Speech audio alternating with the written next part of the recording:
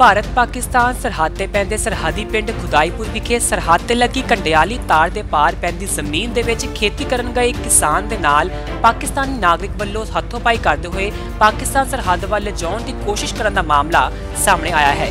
ਇਸ ਵਿਸ਼ੇ ਤੇ ਬੇਸ਼ੱਕ ਸੀਮਾ ਤੇ ਤੈਨਾਤ ਸੀਮਾ ਸੁਰੱਖਿਆ ਬਲ ਦੀ ਬਟਾਲੀਅਨ 132 ਦੇ ਅਧਿਕਾਰੀ ਕੋਈ ਵੀ ਟਿੱਪਣੀ ਕਰਨ ਤੋਂ ਬਚ ਰਹੇ ਨੇ, ਪਰ ਖੇਤੀ ਕਰਨ ਗਏ ਕਿਸਾਨ ਸੁਖਬੀਰ ਸਿੰਘ ਵੱਲੋਂ ਇਸ ਗੱਲ ਦੀ ਪੁਸ਼ਟੀ ਕੀਤੀ ਗਈ ਹੈ। ਜਾਣਕਾਰੀ ਦੇ ਮੁਤਾਬਕ ਬਲਾਕ ਬਮਿਆਲ ਦੇ ਹੇਠ ਆਉਂਦੇ ਪਿੰਡ ਖੁਦਾਈਪੁਰ ਵਾਸੀ ਕਿਸਾਨ ਸੁਖਬੀਰ ਸਿੰਘ ਨੇ ਨਿਊਜ਼ ਨੰਬਰ ਦੀ ਟੀਮ ਨੂੰ ਜਾਣਕਾਰੀ ਦਿੰਦੇ ਹੋਏ ਦੱਸਿਆ ਕਿ ਉਸ ਵੇਲੇ 10 ਵਜੇ ਦੇ ਕਰੀਬ ਸਰਹੱਦ ਤੇ ਲੱਗੀ ਕੰਡਿਆਲੀ ਤਾਰ ਤੇ ਲੱਗੇ ਗੇਟ ਨੰਬਰ 9 ਦੇ ਰਾਹੀਂ ਆਪਣੇ ਖੇਤ ਵਿੱਚ ਖੇਤੀ ਕਰਨ ਗਿਆ ਸੀ ਅਤੇ ਇੰਟਰਨੈਸ਼ਨਲ ਬਾਰਡਰ ਦੇ ਪਿੱਲਰ ਨੰਬਰ 9/14 ਅਤੇ 10:05 ਮਿੰਟ ਦੇ ਕਰੀਬ ਆਪਣੇ ਖੇਤ ਵਿੱਚ ਖੇਤੀ ਕਰ ਰਿਹਾ ਸੀ। ਅਚਾਨਕ ਇੱਕ ਪਾਕਿਸਤਾਨੀ ਨਾਗਰਿਕ ਭਾਰਤ ਦੀ ਸਰਹੱਦ ਅੰਦਰ ਆਇਆ ਅਤੇ ਉਸ ਦੇ ਨਾਲ ਹੱਥੋਂ-ਪਾਈ ਸ਼ੁਰੂ ਕਰ ਦਿੱਤੀ। ਇਸ ਦੌਰਾਨ ਪਾਕਿਸਤਾਨੀ ਨਾਗਰਿਕ ਵੱਲੋਂ ਉਸ ਨੂੰ ਪਾਕਿਸਤਾਨੀ ਸਰਹੱਦ ਵੱਲ ਲਿਜਾਉਣ ਦੀ ਕੋਸ਼ਿਸ਼ ਵੀ ਕੀਤੀ ਗਈ।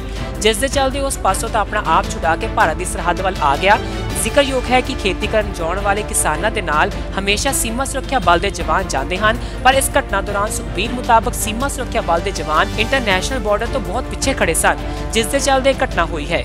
ਖੁਦਾਈਪੁਰ ਨਿਵਾਸੀ ਲੋਕਾਂ ਦਾ ਕਹਿਣਾ ਹੈ ਕਿ ਇਹ ਘਟਨਾ ਸੀਮਾ ਸੁਰੱਖਿਆ ਬਲ ਦੇ ਨੌਜਵਾਨਾਂ ਦੇ ਨਾਲ ਨਾ ਹੋਣ ਕਾਰਨ ਹੋਈ ਹੈ। ਸਰਕਾਰ ਨੂੰ ਚਾਹੀਦਾ ਹੈ ਕਿ ਸਾਡੀ ਸੁਰੱਖਿਆ ਨੂੰ ਯਕੀਨੀ ਬਣਾਇਆ ਜਾਵੇ। ਆ ਕੱਲ ਗਿਆ ਜੀ, ਆਪਣੇ ਕੰਮ ਨੂੰ ਰੋਜ਼ ਜਾਂਦੇ ਆ ਜੀ, ਹੋਰ ਵੀ ਜਾਂਦੇ ਆ। ਪਿੰਡ ਦੇ ਲਗਭਗ 50 ਤੋਂ 60 ਤੱਕ ਬੰਦੇ ਜਾਂ ਘੱਟ ਵੱਧ ਕਈ ਵਾਰੀ ਹੁੰਦੇ ਆ। ਉਹ ਵੀ ਬੰਦੇ ਜਾਂਦੇ ਪਾਰ ਆਪਣੇ ਖੇਤਾਂ 'ਚ ਕੰਮ ਕਰਦੇ। ਇਹਦੀ ਜ਼ਮੀਨ ਜਿਹੜੀ ਹੈਗੀ ਹੈ ਇਸ ਮੁੰਡੇ ਦੀ, ਉਹ ਬਿਲਕੁਲ ਜ਼ੀਰੋ ਲਾਈਨ ਤੇ ਸੀ। ਇਹ ਆਪਣੀ ਪੈੜੀ ਦੇ ਵਿੱਚ ਕੰਮ ਕਰ ਰਿਹਾ ਸੀ। ਪਰ ਉਹਨਾਂ ਨੇ ਜੋ ਹਰਕਤ ਕੀਤੀ ਹੈ, ਇਹ ਮੁੰਡਾ ਤੇ ਜ਼ੋਰ ਵਾਲਾ ਸੀ।